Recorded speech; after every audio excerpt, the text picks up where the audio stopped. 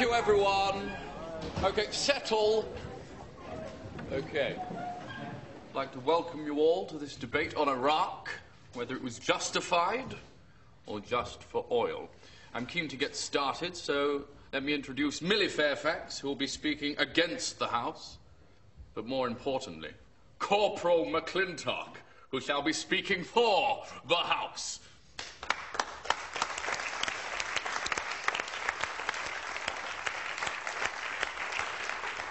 They are. You alright?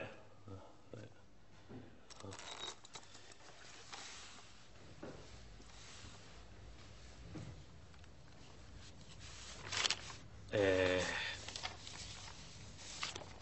just um, uh, my notes. Uh, um,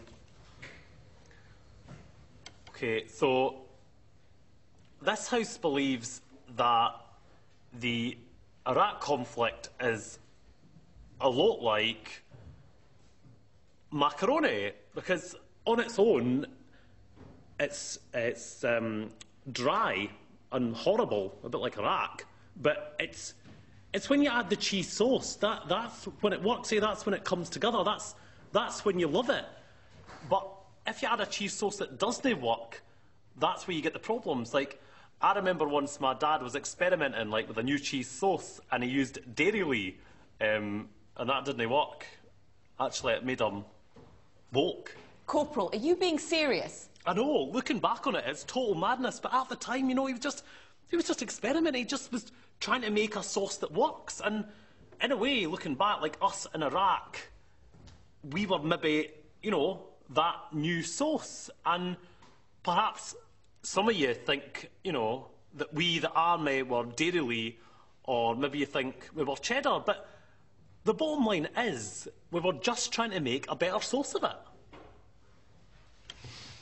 Millie, your response. Well, talking of sauce, take the sexed up dossier. You wouldn't have had to try and make a better sauce if the government's recipe had been accurate in the first place. What? I mean that if the dossier represented a recipe, then we, the nation, were given the wrong recipe. We were misled on how to make macaroni cheese. Ah, but see, I don't think there is, like, one right way of making macaroni. Uh, my mum makes it with a blue cheese sauce. Well, that's disgusting. I mean, you should be making it with a yellow sauce, eh? Like a yellow cheese, cheddar. You know. Nana used to make it with a mix of milder, creamier cheeses. Well, see, it's complicated. Like when we were in Iraq, you know, we were trying to make a new sauce and we maybe didn't have all the ingredients, but we were on a budget. You know, it was a bit like Ready, Steady, Cook. We did the best we could with the bag that we got, you know. But, Corporal, I put it to you that far from being on a budget a la Ready, Steady, Cook, you were effectively shopping from Marks and Spencer's. You were dropping organic cream cakes on defenceless Lidl shoppers. I, but what were we supposed to do? We invited Saddam round for dinner, but he didn't want to eat with us. I mean, we try to cook for him. Maybe you didn't try hard enough. In fact, I put it to you that you offered him steak and he was vegan.